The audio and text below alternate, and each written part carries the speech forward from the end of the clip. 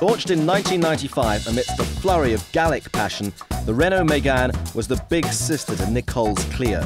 Good looking car, they do a coupe, they do a saloon, they do the Scenic, the people carrier.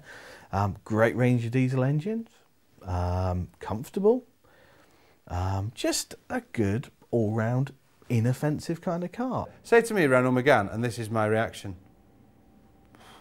Do you know what I mean? Oh dear. You see, the trouble with the Megane wasn't that there was anything really wrong with it, there just wasn't anything right with it either. It had an image problem. Renault set about rectifying this with the new Megane.